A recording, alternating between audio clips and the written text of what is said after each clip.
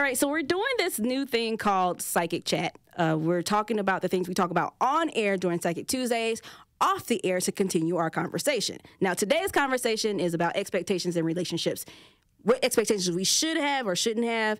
Um, Samantha's going to break down the first five that we already talked about on the air, and then we're going to continue our discussion off the the rest of it. So, Sam, go ahead and break it down for Okay, us. so we have expectations in relationships for various reasons. We have the expectation and desire for emotional fulfillment. People often enter the relationship seeking emotional connection, support, intimacy. They may have expectations around their partner that will meet their emotional needs and provide them with love and care, right? Yes. Number two would be the sense of security and stability. Expectations in a relationship can stem from the desire for security Right. and stability. Yes. Okay, number three, um, the expectation that you guys will have shared values or shared goals. I think that that's something that's kind of it's hard to say because who doesn't want to have shared like Right. values, goals? That's the reason why you start dating someone a lot Right. of times because you have those common interests. And so you're thinking that this person wants to do these things with you. You start to share those things to, to move forward. Right. But see, having the expectation is expecting the partner to share those beliefs or ambitions or lifestyle preferences in order to build fulfilling, harm- harmonious relationships when we get ahead of ourselves sometimes Mm-hmm. and then we assume people are just not having the conversations they need to have Right. with what do you expect from a relationship or what are your expectations of a relationship. I think people are scared to have those conversations because they're they're thinking that if this person's not exactly how I want them to be, like in that box, then they're not the right person from or they're ready to run away or they want to push those like project those expectations onto them. Right. Dating now in 2024 four is really hard because people are so quick to discard one another. And they don't want to really sit and talk about these things. Everybody's chasing lust instead of actual Love. love. Okay. Because love is way different than lust, and people think that the lust, once the lust goes away, well, I fell out of love with them, and that probably wasn't even love. Love was never there. Right. So number four would be the communication and understanding. Expectations around communication and understanding are common in relationships mm-hmm. because people expect their partner to listen to them,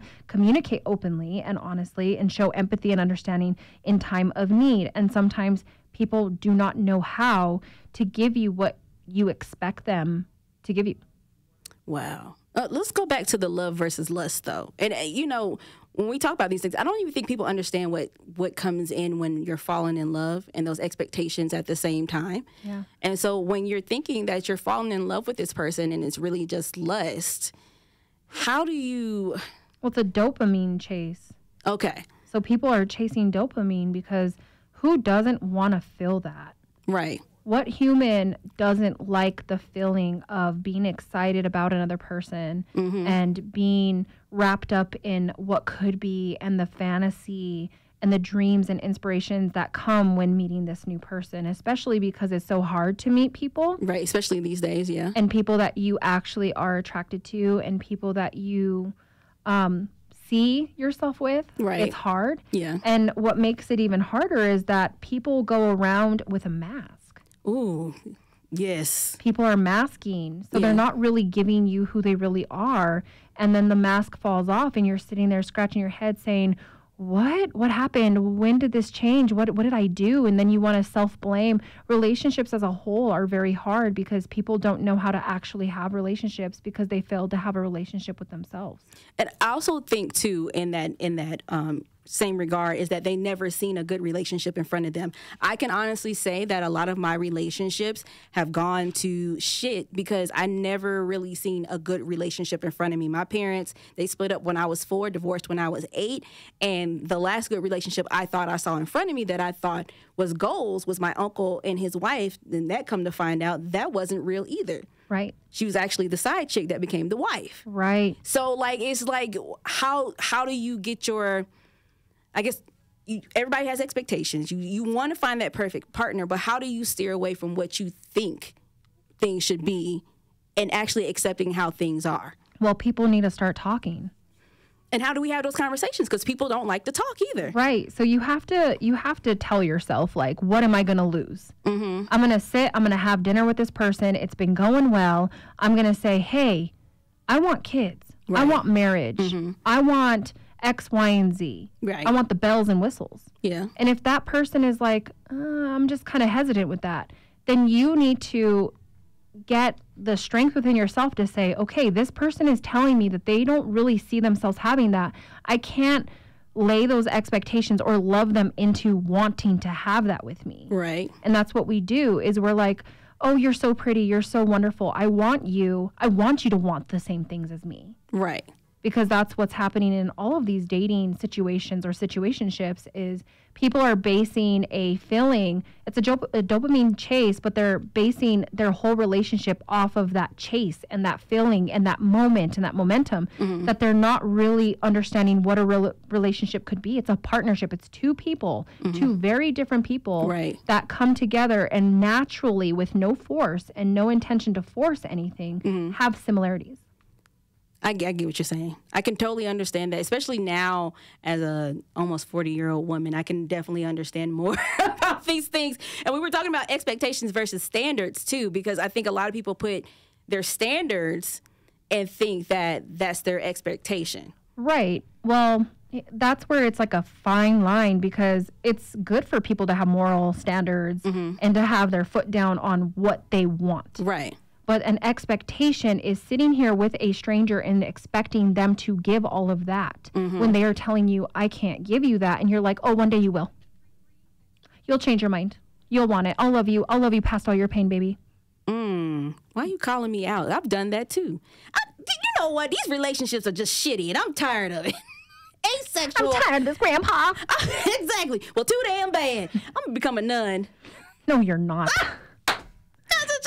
You was lying to me in cursive.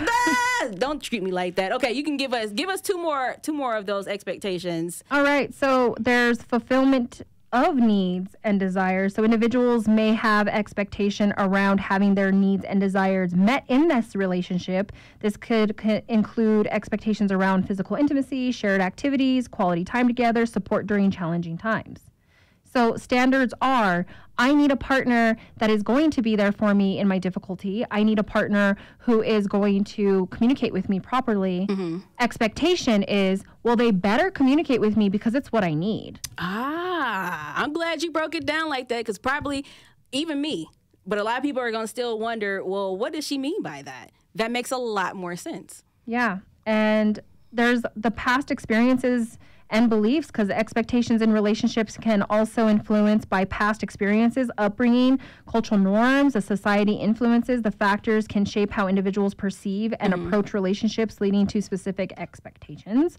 While having expectations in relationships is normal and can have um, can help guide a healthy interaction, it's important for individuals to communicate openly with their partner what their expectations are, what their standards are, what they want, and be clear about it. Oh, and just be about to ask receptive and be receptive towards your partner's expectations too, because a lot of us are one-sided people. Mm-hmm. Yeah. We're sitting here on the high horse of you need to meet my expectations without even understanding that that person has their own expectations. Right.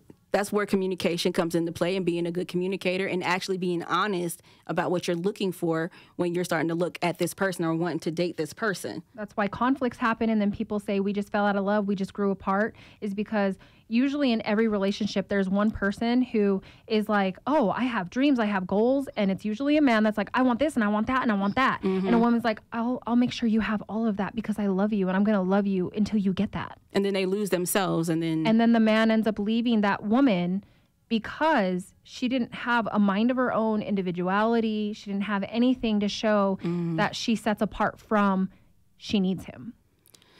Wow. Well, Sam, always a great conversation, no matter what uh, psychic chat. I love this. We're going to keep this going and uh, let people know where they can book you, they can follow you, all that good stuff. You can find me on sakridmoon.org. So uh, S A K R I D M O O N dot org. Or you can find me on Instagram, sakrid.moon. Spelled the same. All right. Make sure you book with her. I know you want some more conversation about this. Uh, she'll be back next Tuesday. Peace out. Peace out. Bye. way of showing it. Mm, it is. It is truly heartbreaking. I know this is not the last we have heard of Prince Harry and his family drama, but we're going to move on to Riri.